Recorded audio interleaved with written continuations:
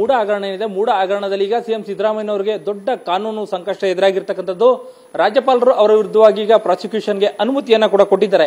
ಇಡೀ ವಿಚಾರವನ್ನ ಮೊದಲಿಗೆ ಬಯಲಿಗೆಳೆದಂತಹ ಕೆಆರ್ ವಿಧಾನಸಭಾ ಕ್ಷೇತ್ರದ ಶಾಸಕರಾಗಿರ್ತಕ್ಕಂಥ ಶ್ರೀವತ್ಸ ಅವರು ನಮ್ಮ ಜೊತೆಗಿದ್ದಾರೆ. ಅವ್ರನ್ನ ಮಾತಾಡ್ಸೋಣ.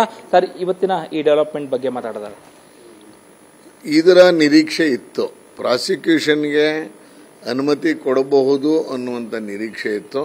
ಯಾಕೆಂತ ಹೇಳಿದ್ರೆ ಎಲ್ಲ ದಾಖಲಾತಿಗಳು ಅವರು ಪಕ್ಷಪಾತ ಅಥವಾ ಅದು ಕಾನೂನು ಬಾಹಿರವಾದಂಥ ನಿರ್ಣಯ, ಆ ಕಾನೂನು ಬಾಹಿರ ನಿರ್ಣಯವನ್ನು ಇವರು ಪಡ್ಕೊಂಡಿದ್ದು ನಮ್ಗೆ ಅನ್ನಿಸ್ತಾ ಇತ್ತು, ಇದೆಲ್ಲ ಒಂದು ಕಡೆ ಇದು ಉರುಳಾಗುತ್ತೆ ಅಂತ. ಆ ರೀತಿಯಲ್ಲಿ ನನಗೇನಿದು ಅಚ್ಚರಿ ತಂದಿಲ್ಲ ಇನ್ನೂ ಬೇನೆ ಆಗಬೇಕಾಗಿತ್ತು. ಆದರೆ ಸ್ವಲ್ಪ ತಡವಾಗಾದರೂ ಸತ್ಯಮೇವ ಜಯತೆ, ಸತ್ಯಕ್ಕೆ ಜಯ ಇದ್ದೇ ಇದೆ ಅನ್ನುವಂಥದ್ದು ಮತ್ತೊಮ್ಮೆ ಪ್ರೂವ್ ಆಯಿತು. ಸಿದ್ದರಾಮಯ್ಯನವರು ಇಲ್ಲಿವರೆಗೂ ಕೂಡ ಹೇಳ್ಕೊಂಬತ್ತಾರೆ ನನಗೇನಾಗೋದಿಲ್ಲ, ನಾನು ಏನೂ ತಪ್ಪೇ ಮಾಡಿಲ್ಲ ಕಾನೂನು ಪ್ರಕಾರ ಕರೆಕ್ಟ್ ಆಗಿದ್ದೀನಿ ಅಂತ. ನಾನು ನಿಮ್ಮ ಚಾನಲ್ ಮುಖಾಂತರನು ತೋರಿಸಿದ್ದೆ. ಕ್ರಯಪತ್ರದ ದಿನಾಂಕವೇ ಸರಿ ಇಲ್ಲ. ಕ್ರಯಪತ್ರ ಕೊಟ್ಟಿರುವ ಇಪ್ಪತ್ತು, ಹನ್ನೊಂದು, ಎರಡು ಸಾವಿರದ ಇಪ್ಪತ್ತು ಅಂತ ಕೊಟ್ಟಿದ್ದಾರೆ.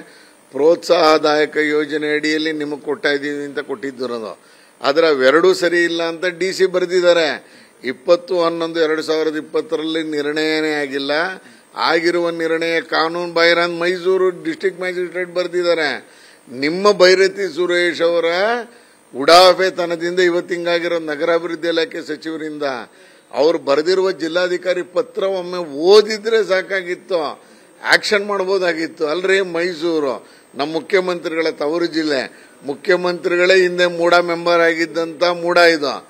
ಅದಕ್ಕೆಲ್ಲ ಭೈರತಿ ಸುರೇಶ್ ಹೆಂಗ್ ಚೆನ್ನಾಗಿ ನಡ್ಕೋಬಹುದಾಗಿತ್ತು ಮುಖ್ಯಮಂತ್ರಿಗಳನ್ನ ಗೌರವವನ್ನು ಕಾಪಾಡ್ಬೋದಾಗಿತ್ತು. ಯಾವುದನ್ನೂ ಮಾಡಲಿಲ್ಲ. ಉಡಾಫೆ ಮಾಡಿಕೊಂಡು ಒಬ್ಬ ಎಂ ಎಲ್ ಎ ಲೆಟರ್ ಕೊಟ್ಬಿಟ್ರೆ ರಾಜೀನಾಮೆ ಕೊಡೋಕ್ಕಾಗತ್ತಾ ಅಂತ ಬಂದು ಹೆಲಿಕಾಪ್ಟರ್ ಬಂದು ದಾಖಲಾತಿಗಳನ್ನ ಎತ್ಕೊಂಡೋದ್ರಲ್ಲ, ನಮ್ಮ ಹತ್ರ ದಾಖಲಾತಿಗಳು ಇದ್ದಿದ್ದ ಕಾರಣಕ್ಕೆ ಇವತ್ತು ನಾವೆಲ್ಲರೂ ಸೇಫ್ ಆದ್ವಿ. ಇದರ ದಾಖಲಾತಿಗಳನ್ನೆಲ್ಲ ಹರಿದಾಕ್ತಿದ್ರು. ತಪ್ಪೇ ಇಲ್ಲ ಅಂದ್ಮೇಲೆ ವೆಂಕಟಾಚಲಪತಿ ಆಯೋಗ ನೇಮಕ ಮಾಡಿದ್ದಾದ್ರೆ ಯಾಕೆ? ಹಗರಣವೇ ನಡೆದಿಲ್ಲ ಅಂದ್ಮೇಲೆ ನ್ಯಾಯಮೂರ್ತಿ ದೇಸಾಯಿ ಹಗರಣ ಕಮಿಟಿನ ಯಾಕೆ ಮಾಡಿದ್ರಿ ನೀವು? ಹದಿನಾಲ್ಕನೇ ತಾರೀಕು ಮಧ್ಯರಾತ್ರಿ ಯಾಕೆ ಮಾಡಿದ್ರಿ? ಅಂದ್ರೆ ಇದೆಲ್ಲವೂ ಅವ್ರಿಗೆ ಹಗರಣ ನಡೆದಿದೆ ಅಂತ ಗೊತ್ತಿತ್ತು. ಸುತ್ತಮುತ್ತಲಿನ ಹಿತಶತ್ರುಗಳು ಅವ್ರು ಯಾರ್ಯಾರ ಜೊತೆಲಿದಾರಲ್ಲ ಅವ್ರುಗಳನ್ನ ಮಾತು ಕೇಳ್ಕೊಂಡಿದ್ದಾರೆ ಇವರು. ಅವ್ರ ಮಾತು ಕೇಳಿಕೊಂಡು ಸೈಟನ್ನು ಸರೆಂಡರ್ ಮಾಡಿಲ್ಲ. ಮಾಡಿದ್ದಿದ್ರೆ ಇವತ್ತು ಮಾದರಿ ಮುಖ್ಯಮಂತ್ರಿ ಅಂತ ಆಗೋರು.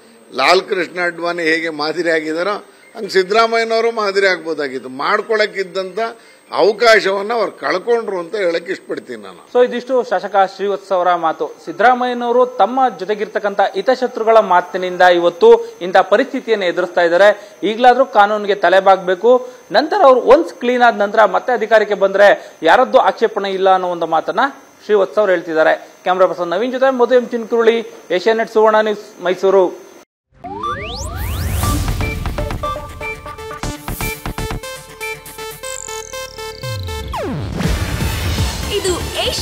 News network ಪ್ರಸ್ತುತಿ. ನೀವು ನೋಡ್ತಿದ್ದೀರಾ ಏಷ್ಯಾ ನೆಟ್ ಸುವರ್ಣ ನ್ಯೂಸ್.